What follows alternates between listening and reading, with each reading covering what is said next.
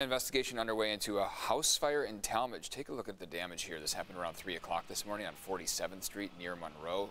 Looks to be a total loss. CBS 8's Dana Marie McNichol live at the scene there with the very latest on what's happened there. Dana Marie. Well, the family shared with me that it was an extremely scary night for them. The devastation and damage you can see behind me is very, very large, even where those firefighters had to axe through the roof to get the fire out. Now, they told me that it was actually their dog who alerted them that their house was completely engulfed in flames. All family members were able to get out safely, including the dog, so they're very grateful for that. But the fire chief said that they needed a lot of resources to take out this blaze. Uh, it's going to end up being a total loss in this home. So, um, in, the, in the neighborhood of a million dollar loss.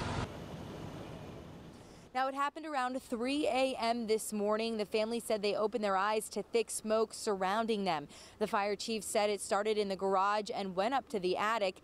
And once the firefighters evaluated the scene, they called for three more trucks on top of the five already at the house because of how intense the fire was coming from underneath the home. The blaze was determined to be an accident and the cause undetermined, but there was no suspicious play here, they say. Initially, there was a concern a person who rented a room in the house was unaccounted for, but it's now confirmed with the family and police that person wasn't home.